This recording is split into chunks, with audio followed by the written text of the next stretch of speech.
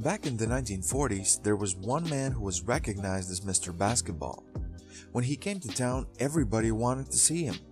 A lanky guy with thick glasses, well, what's the big deal here? The big deal is he was the first true dominant big man, a basketball celebrity.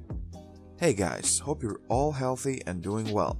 Purple Prince here and today I want to tell you the story of George Mikan. George Lawrence Mikan Jr. was born on June 19, 1924 in Joliet, Illinois. He was born into a Croatian family and George was one of three brothers, all of whom helped out at the family's restaurant. All of the brothers were tall, but George Mikan stood out from other boys his age. By the time he was 11, he was well over 6 feet tall, was very awkward looking, and wore thick glasses. Young George was never really that interested in sports. The only sports he did as a kid was the game of marbles, in which he won a countywide marble shooting championship.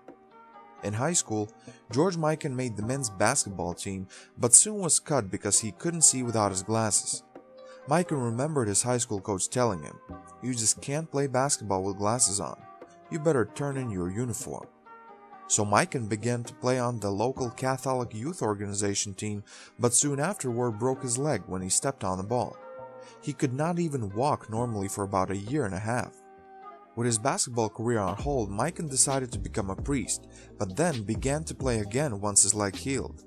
Shame to Notre Dame University, whose school's coach told Mikan that he never could be a good basketball player because he was too tall and slow. And that's where DePaul University came in, an unknown entity in the world of basketball with a new head coach, Ray Meyer, who had seen Mikan play and wanted to work with him. He got Mikan into the gym working relentlessly on improving his footwork and agility.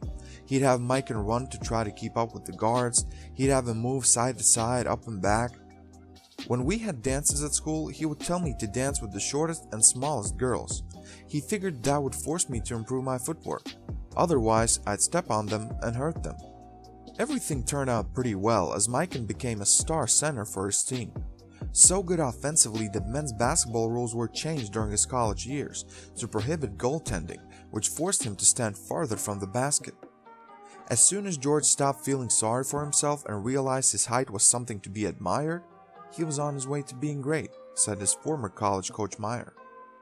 Mikan led all college teams in scoring for the 1944-45 and 45-46 seasons, averaging more than 23 points per game both years. He became a three-time All-American and was named College Player of the Year in 1946. For his whole college career, Mikan averaged 19.1 points per game. After graduating, Mikan signed a five-year contract with the Chicago American Gears in the National Basketball League and won his first pro title in 1947. His $12,000 annual salary was the highest ever paid to a basketball player. During his rookie season, Mikan scored an average of 16.5 points per game. Mikan drew many new fans, but the Gears were financially unstable and the team went bankrupt after his rookie season. When the Gears folded, a lottery gave Mikan's rights to the new franchise, the Minneapolis Lakers.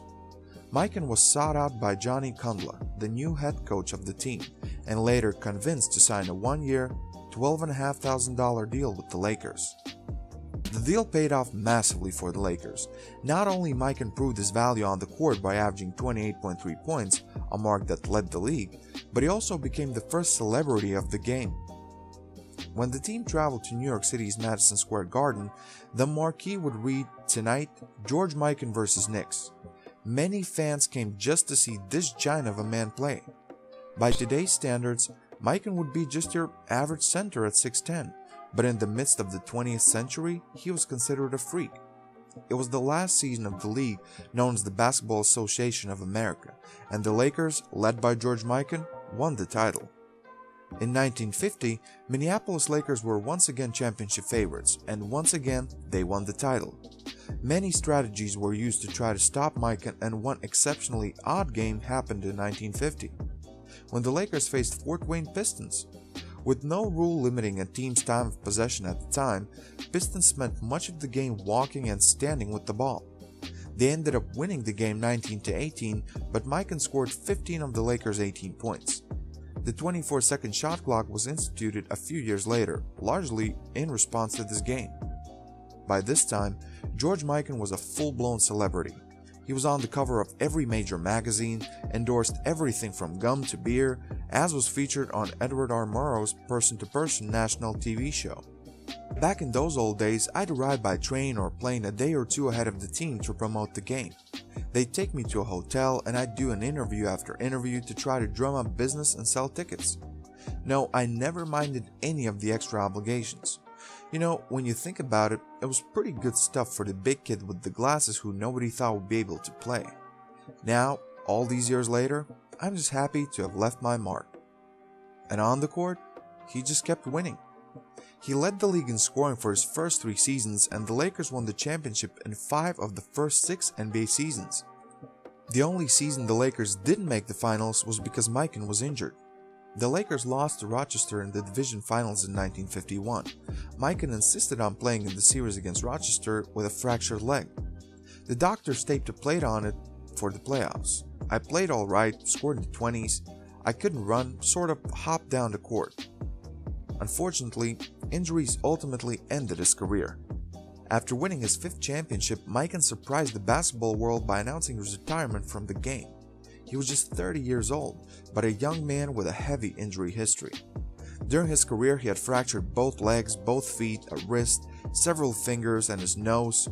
He had had 166 stitches, suffered from a permanent limp, lost a kneecap, and could not fully straighten his arms. After one year of retirement, he was pursued to return to basketball, but it just wasn't the same anymore.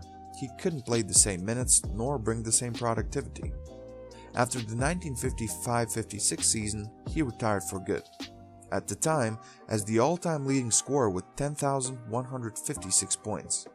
In total, George Mikan played in 439 games and averaged 23.1 points and 13.4 rebounds. In 1959, George Mikan was inducted into the Basketball Hall of Fame. After the end of his playing career, Mikan stayed close to basketball. He had a short, unsuccessful coaching stint and was the first commissioner of the ABA. His greatest accomplishments, though, belong to his playing career. The first celebrity, a player so great that the rules had to be changed. An attraction to fans and most importantly, not your prototypical looking athlete slash superstar. He was different, but great and as the Associated Press recognized him, the greatest basketball player in the first half of the 20th century, Mr. Basketball George Mikan. Thanks for watching the video guys, I hope you enjoyed it. How important do you think George Mikan was to basketball and its growth? How good of a player was he and where would you rank him among the all-time greats? Please leave a comment below.